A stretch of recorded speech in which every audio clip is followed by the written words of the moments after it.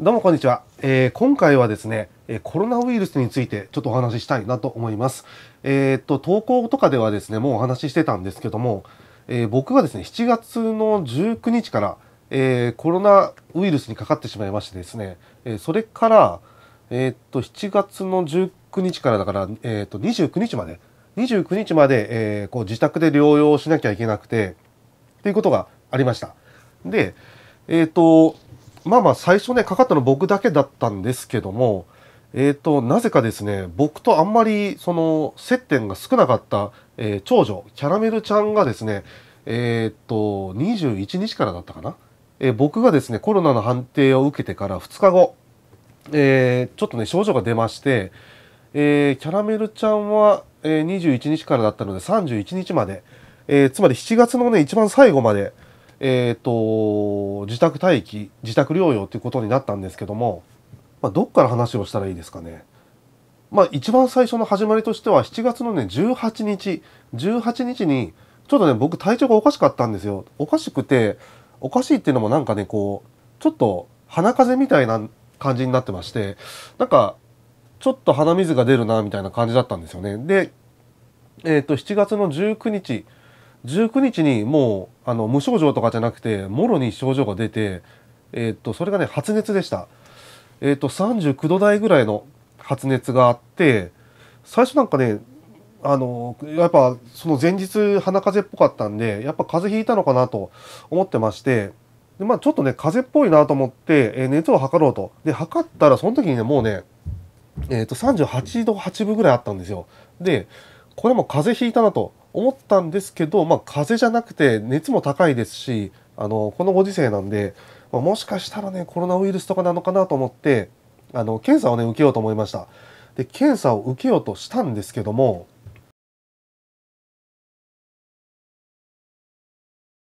まあ一番最初にね困ったこととして今ちょっとここにねパソコンに表示してますけどもどこに連絡すればいいのか分かんないと、えー、コロナになったこともないし周りにですねあの運よくというか、えコロナになった人っていうのがあんまりいなくて1人か2人ぐらいしかいないのかな。でまあ昼間だったんで、まあ、ちょっと自分で調べてみようと思ってパソコンで調べてみるとえっ、ー、とね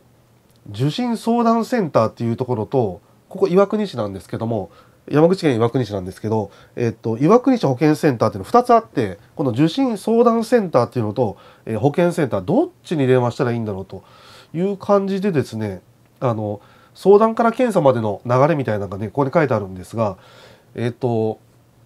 まあ、そこに書いてある感じでいくとですね受診相談センターと、えー、保健センターがね同じような感じでどっちかに連絡すればいいんだろうなと思ってあの最初ね受診相談センターにかけたんですよ。そしたら電話が全然通じなくてこれダメだなと思ってまあやっぱしんどいですしねしんどいから保健センターにかけました、えー、保健センター保健所とは多分違うのかな？同じなのかな？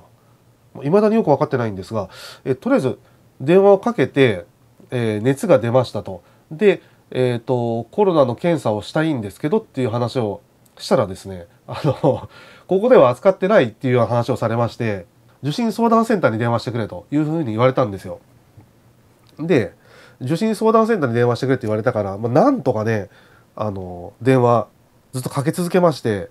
20分30分後ぐらいにつながったのかな？でつながったんで、えー、コロナの検査を受けたいんですけどっていうね、あのー、相談をしました。今回でこのお話をするのは、えーと、ちょっと流れがどうなのかなみたいなところがあってちょっと疑問に思ったところがあったんでちょっとお話ししたいなと思うんですけど、えーとまあ、その受診相談センターというとこ電話して、えーまあ、検査を受けたいですと。でそしたらまあ住所とか聞かれるわけですよ。住所とか聞かれて、まあ、大体この辺ですみたいな話をして、えー、じゃあ、あのお医者さんここに行ってくださいねみたいな感じで言われたのがえー、っとね家から大体30キロ先ぐらいの病院だったんですよね。30キロ先の病院にちょっと9度ぐらいの熱で行けねえだろうと思って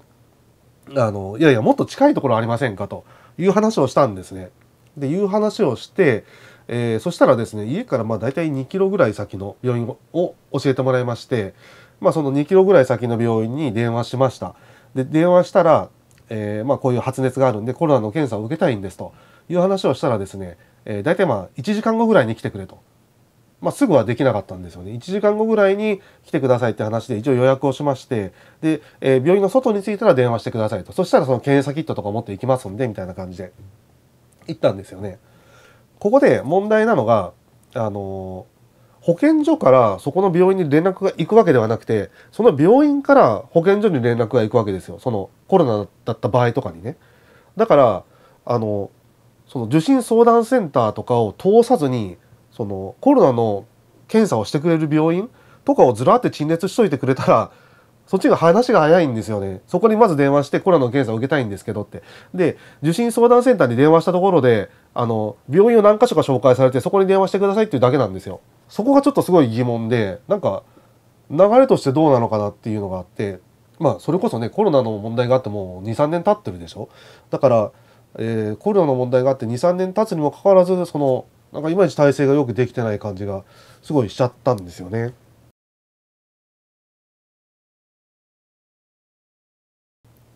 でまあとりあえずその、えーと、検査を受けに行きましてでそしたらねなんかねあの大体検査って30分後ぐらいに結果が出るらしいんですけど、えー、その検査キットにかけたら速攻でなんかあの反応が出たらしくてあこれはも間違いなくコロナですっていう話になって僕は多分ね5分か10分ぐらいでも出てきたんですよねその検査してくれた人があコロナですよっていう話で。でえっ、と運転をね頑張ってしようと思ったんですがさすがにちょっとこれ厳しいなと思ってすごい、ね、発熱もあるし頭がグラグラするし頭も痛いしなんかこうこうなんて言うんだろうふわふわしてる感じもあるんであのちょっと危ないなと思って、えー、うちの奥さんにね運転してもらって病院行ったんですけどまあその濃厚接触じゃないですかうちの奥さんとか、えー、家族に関しては。だからまあその検査をしなきゃいけないだろうなってことでで検査しますかみたいな話をされたんで「いやもちろんします」ということでやったんですがこれがねそこでやってくれるわけではないんですよ。なんか検査キットみたいなのがえー、その連絡をすることによってよそから送られてきます。福岡からだったかな？福岡から送られてきてでそれをまた福岡に送り返します。って感じなんで、えー、来るまでに大体2日ぐらい。でまた戻るのに2日ぐらいで、まあ、4日ぐらいかかっちゃうんですよね。だからそのタイムラグがあるからなんか例えばコロナで陽性が出てじゃあ10日間やりました。でその4日ぐらいにまた結果が出ました。誰か陽性でしたって言ったらまた 4, 日間その隔離期間っていうのが伸びちゃうんでそれもどうなのかなって感じはしたんですけどまあまあとりあえずしょうがないから、えーまあ、その検査キットを送り返しましてっていうことをしてました。でえっ、ー、とまあその病気になってコロナになってから、まあ、症状としてはもうとにかく発熱とあとこう頭痛でまあそれは薬飲んだら3日4日ぐらいで治ったんですよ。薬で、えーと発熱は落ち着いたんですけどなんかねご飯が食べれないとかあの食べてもなんか少量でで食べた後すっごい気持ち悪くてなんかずっと吐きそうな感じになってるっていうのが7日間ぐらい続いたのかな結構続いたんですよ。でもその中からご飯もあんま食べれなくてああとね症状としてはそのお風呂は入るじゃないですかお風呂入るんだけどシャワーの水とかが口に当たった時にあの普通の水道水ですよ。水道のお湯なんですけどなんかね薄いアクエリアスみたいな味がするんですよ。だから味も多分おかしかったんでしょうね。確かにご飯食べてる時になんか変な感じはしたからやっぱりその味覚的なところも多分問題があったりとかしてっていうのがありました。今はもうねあの味覚的な症状っていうのは多分ないですね。ないと思う。まあ、なんかちょっと味が薄く感じるような気もするけどまあそれはそのご飯とかにあんまり慣れてないからっていうのもあるかもしれないんでまあそれはまあいいとしてですね。でえっとまあ僕はそんな感じだったんですよ。でえっ、とね問題だったのがねキャラメルちゃんですよね。そのえっ、とうちの長女、えー、今小学5年生ですけど僕がコロナウイルスの、え、陽性判定を受けて、え、まあこう療養してますよね。療養しててそっから2日目3日目だったかな？3日目ぐらいにあのうちの奥さんからですねその長女も発熱したと。で熱がもう9度以上やっぱりあってで不思議だったのが一緒の部屋だったんですけど、えー、っとうちの奥さんもかかってなければ息子もかかってないし次女もかかってないただなぜか長女だけかかっててでえー、っとまあ後々考えてみるとですね、えー、そのコロナにかかる前僕がねちょっとねあの風呂長風呂とかしてたんですよこう半身浴みたいなのしてて30分ぐらいとか入ってたんですけどうちのね長女も30分ぐらいとかお風呂入ったりとかするんですよね湯船の中使ったりするんですけど多分そこが接点だったのかなという感じがあと考えてみるとしますね。でまあまあそんな感じでとりあえず長女もあの検査を受けなきゃなってなったんですけどここがねちょっとねあの 問題だなと思うところで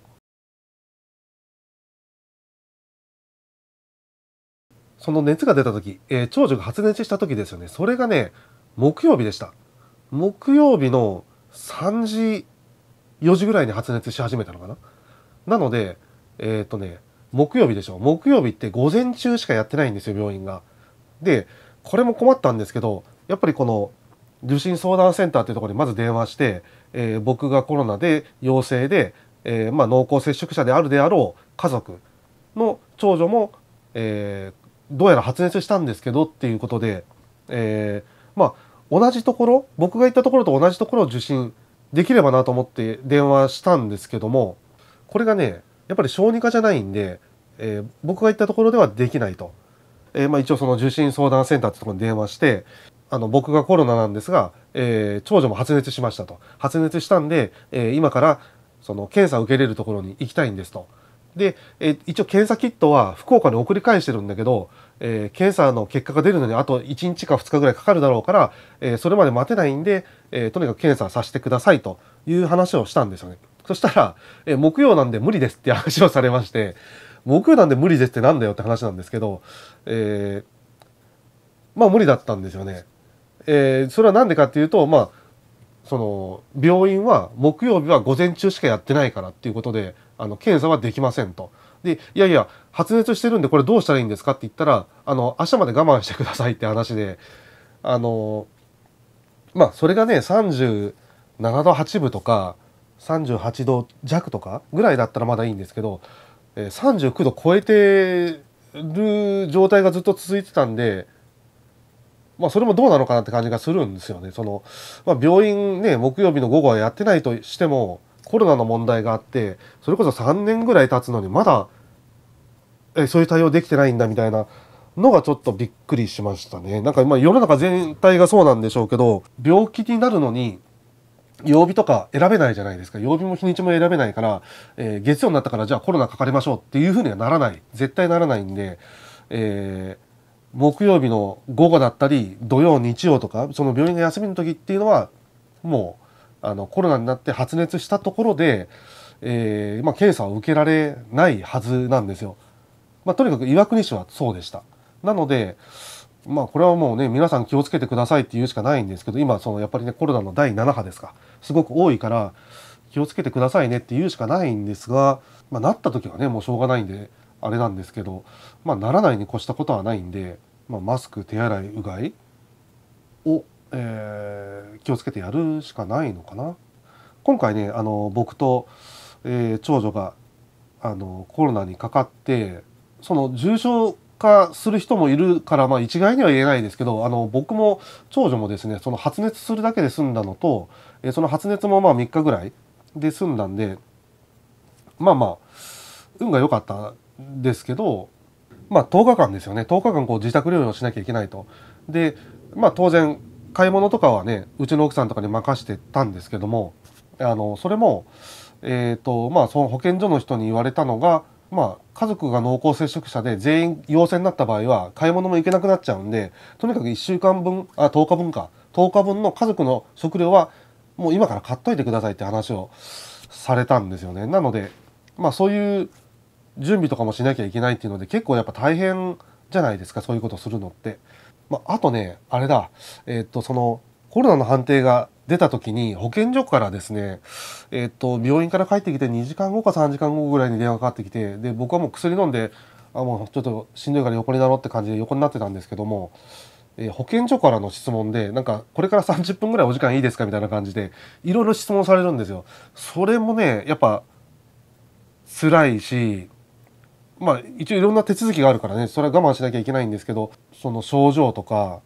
えー、濃厚接触濃厚接触者はでもね別に聞かれなかったんですよね。その家族が濃厚接触者かなぐらいであのどこ行きましたかとかも全然聞かれないし、うん、最近会った人とかも別に聞かれなかったんで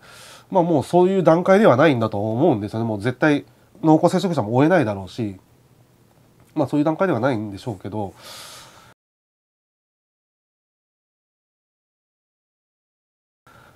まあとにかくでもその手続きというかね、うん、なんか保健所とのやり取りであの保健所から送られてくるメールがあってでそれをその毎日ね返信しなきゃいけないんですよ。えー、熱が何度ありますとか、えー、倦怠感がありますとかそういうなんかこうチェックシートみたいなのがあってそれをまあ毎回こうネット入力しないといけないんで、まあ、そういう手間とかもあったりしつつですね、えー、と今ちょっとスマホにあるんですけども来たメールがねいろいろありましてまず1個は保健所からですね保健所からの連絡でそれと、えー、まあ、自宅療養期間が終わると、えー、これもですねあのショートメールで来るんですよ。ショートメールで、え、案内が来て、えあなたは本日をもって自宅療養期間が終了しますのでお知らせしますみたいな。で、え療養証明書については保健所から後日送付しますとかかそういうメールとかが来るんですよね。でえっと 参ったなと思ったのが、え僕がその陽性判定を受けてその10日間の隔離が明けますよね。その10日目に来たのが、えー、厚生労働省からのショートメールで、えー、療養中の方が関心の高い事柄はこちらとか接触確認アプリココアをお持ちの方へこちらへとかっていうのが自宅療養の最後の日に送られてきたんですよね。これ意味ねえだろと思うんですけどなんかちょっと消せないですけどね。まあただそれだけ連絡が10日目になってしまうぐらいえー、感染者の方が多いってことだと思うんで、まあ、なかなかこの辺はね難しいところだと思うんですがただその10日間の自宅療養が明けましたじゃあそのすごく元気ですっていうわけではなくてなんかねその10日目ぐらいもなんかやっぱ調子はあんまり良くないんですよね。なんて言うんでしょうね倦怠感みたいなのもあるしなんだろうこうふわふわしてる感じもあるしっていうのが、まあ、10日目もあったんですけど、まあ、一応その隔離開けたのでもう出なきゃ外出なきゃしょうがないんでですね。まあその辺は何も考えずに今に至るって感じなんですけども、まあ、その辺はそのうちの長女もね同じ感じかな。その療養期間が明けたからじゃあご飯バクバク食べれますっていうことではなくてやっぱ食欲があんまりなかったりとか今もねそこまで本調子じゃなかったりとかするっぽいんでなんだろうその10日間はね、それこそその保険代とかも出ると思うんですけどもその後その後もまだ続くところがあったりとかするので、まあ、僕はね僕とかその長女に関してはそういうのがあったんでまあその辺はやっぱり、えー、かからないように、ね、手洗いうがいとかしてマスクして気をつけてください皆さんとしかちょっと言えないんですけどもまあまあそんな感じでですねえっ、ー、とまあコロナから一応無事にね復帰しました。えー、こんな感じですごく元気ですよ。元気だし、えー、重症化もしなかったんで、えー、本当はね、え先週ぐらいか。先週ぐらいとか、え滋賀県の方に行ってですね滋賀県京都とか回って家族で2泊3日ぐらいで、え動画撮影して回るっていう予定も立ててたんですが、まあ、ちょっとそういうのも行けなくなっちゃったんで、えまあまたねその夏休みしか撮れないような旅行動画みたいなのもねあのお届けできたらいいなと思ってますので、えー、まあ、その辺もこれからねあの楽しみにしていただければなと思ったりしてます。まあ、10日ぐらいですかねその YouTube とか、えーと、全ての SNS からちょっと遠ざかってたので、えー、その間ねご心配おかけした方、えー、あとご迷惑をおかけした方もね少なからず、えいますので、えそういう方にはねちょっと申し訳なかったなと思っております。えその代わりにですねこれからちょっと、え面白い動画できるように頑張っていきたいなとさらに思ってますので、えこれからもね応援していただければなと思います。え、ということでね、え、夏なんで暑いです暑いからあのマスクをね外したりとか、え、手洗いうがいとかねおろそかになっちゃったりするかもしれないんですが、えー、一回コロナになっちゃうともう10日間絶対家から出られないんで、まあ、やっぱり、ね、いろんなロスが生まれると思いますなので、えなるべくねかからないように皆さんお気をつけてお過ごしいただければなと思っております。えー、ということで今回はね、えー、無事に帰れましたというご報告でした。それではありがとうございました。